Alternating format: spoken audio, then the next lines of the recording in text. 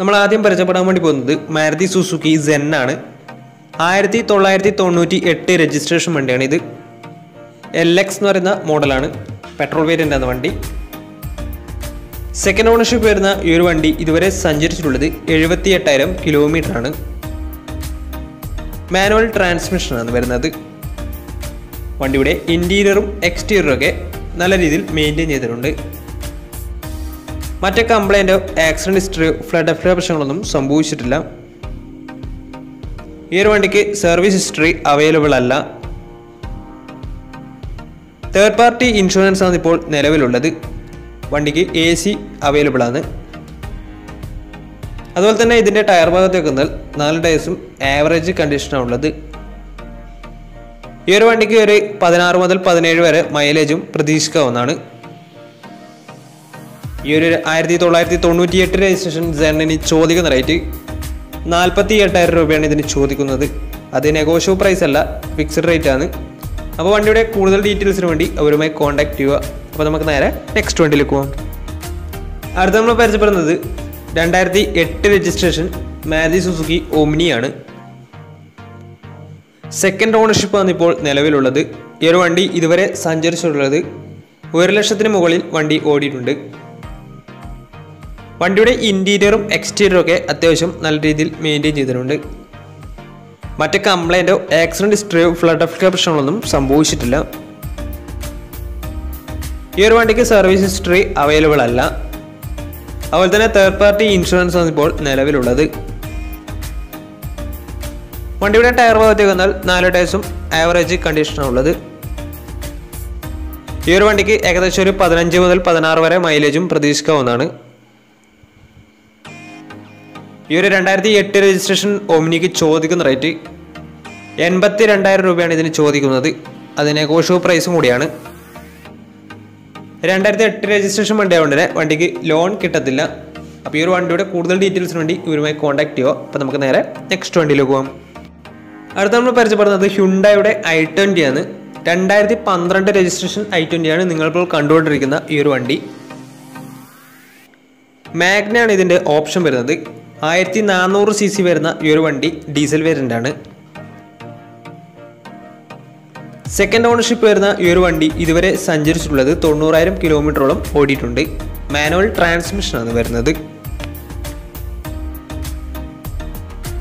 വണ്ടിയുടെ ഇന്റീരിയറും എക്സ്റ്റീരിയറും ഒക്കെ നല്ല രീതിയിൽ മെയിന്റെയിൻ ചെയ്തിട്ടുണ്ട്. മറ്റ് കംപ്ലൈന്റോ ആക്സിഡന്റ് ഹിസ്റ്ററിയോ ഫ്ലഡ് എഫ്ലോ പ്രശ്നങ്ങളൊന്നും സംഭവിച്ചിട്ടില്ല. ഈ ഒരു വണ്ടിക്ക് സർവീസ് ഹിസ്റ്ററൊക്കെ അവൈലബിൾ ആണ്.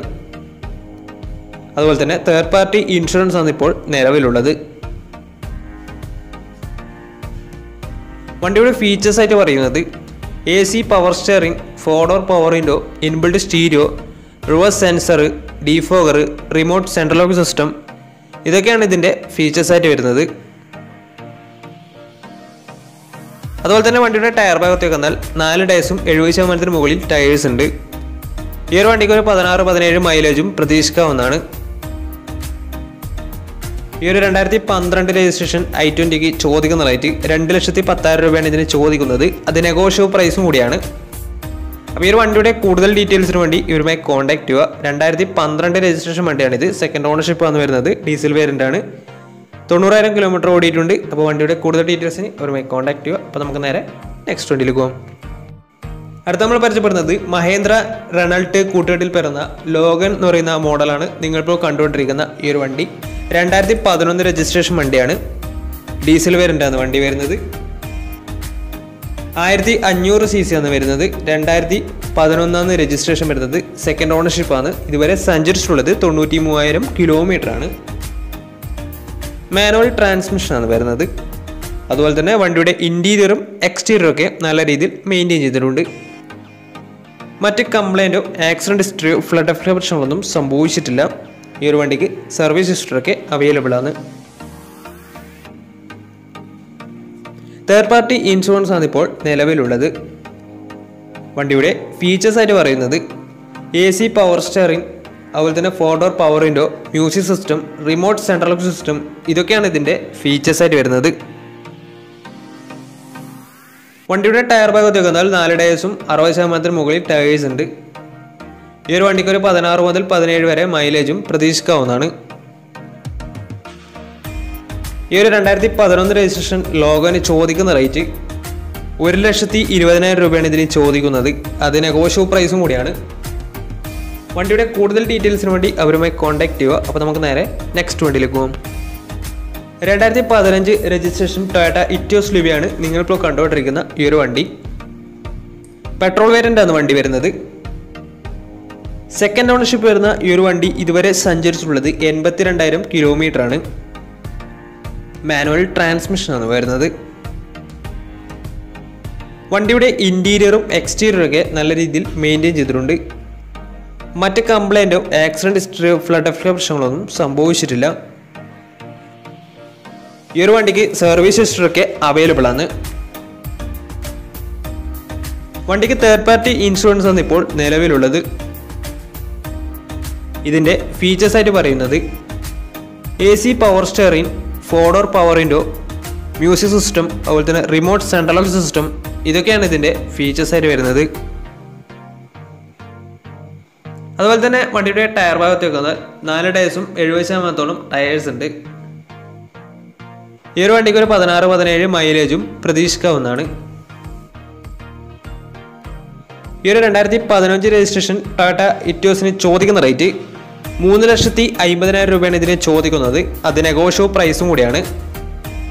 രണ്ടായിരത്തി പതിനഞ്ച് രജിസ്ട്രേഷൻ വണ്ടി ഉടനെ വണ്ടിക്ക് ബാങ്ക് ലോണും കിട്ടുന്നതായിരിക്കും.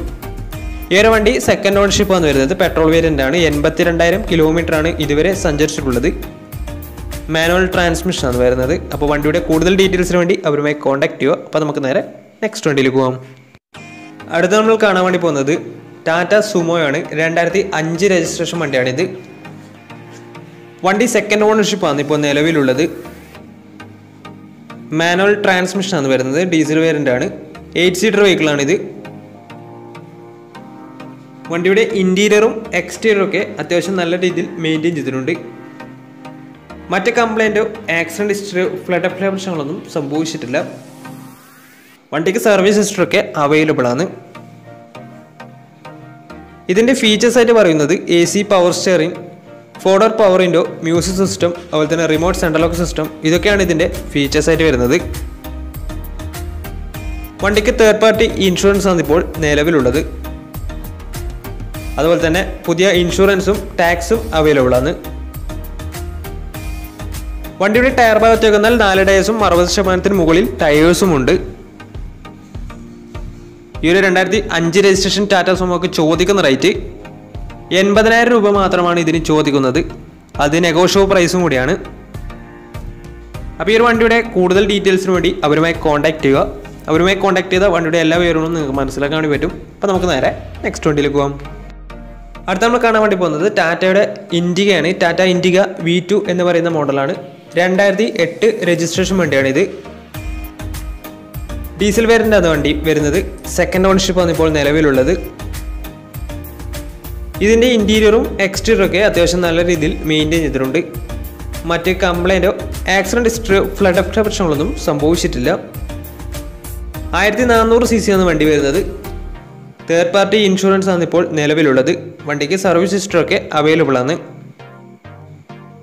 ഇതിന്റെ ഫീച്ചേഴ്സ് ആയിട്ട് പറയുന്നത് എ സി പവർ സ്റ്റിയറിംഗ് അതുപോലെ തന്നെ music system remote central lock system ഇതൊക്കെയാണ് ഇതിന്റെ ഫീച്ചേഴ്സ് ആയിട്ട് വരുന്നത്.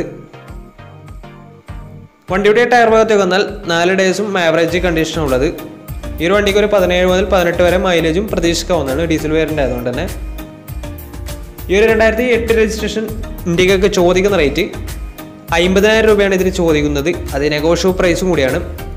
അപ്പോൾ ഈ ഒരു വണ്ടിയുടെ കൂടുതൽ ഡീറ്റെയിൽസിന് വേണ്ടി അവരുമായി കോൺടാക്ട് ചെയ്യുക. അപ്പോൾ നമ്മുടെ ഇന്നത്തെ ഒരു വീഡിയോ നിങ്ങൾക്ക് ഇഷ്ടപ്പെട്ടെന്ന് കരുതുന്നു. ഇഷ്ടപ്പെട്ടെങ്കിൽ തീർച്ചയായും നമ്മൾ ചാനൽ ഇതുവരെയും സബ്സ്ക്രൈബ് ചെയ്താൽ തീർച്ചയായും സബ്സ്ക്രൈബ് ചെയ്യുക. തൊട്ടടുത്തുള്ള ബെല്ലേക്കും കൂടെ ഒന്ന് എനേബിൾ ചെയ്താൽ നമ്മൾ അപ്ലോഡ് ചെയ്യുന്ന പുതിയ പുതിയ വീഡിയോസ് നോട്ടിഫിക്കേഷൻ ലഭിക്കുന്നതായിരിക്കും. അതേപോലെ തന്നെ നിങ്ങളുടെ വണ്ടി നമ്മുടെ ചാനലോട് സെയിൽ ചെയ്യാൻ താല്പര്യമുണ്ടെങ്കിൽ എന്റെ മെയിൽ ഐ ഡിയിലേക്ക് വണ്ടിയുടെ ഫോട്ടോസും മറ്റു ഡീറ്റെയിൽസും അയച്ചു തരികയാണെങ്കിൽ വരും ദിവസങ്ങളിലെ വീഡിയോയിൽ ആ ഒരു വണ്ടിയുടെ ഡീറ്റെയിൽസ് ഉൾപ്പെടുന്നതായിരിക്കും. അപ്പോൾ കൂടുതൽ വീഡിയോസ് ചെയ്യാൻ പറ്റുമെന്ന പ്രതീക്ഷയിൽ ഇസ്മി പ്രണോ സൈനിങ് ടാറ്റ ബൈ ബൈ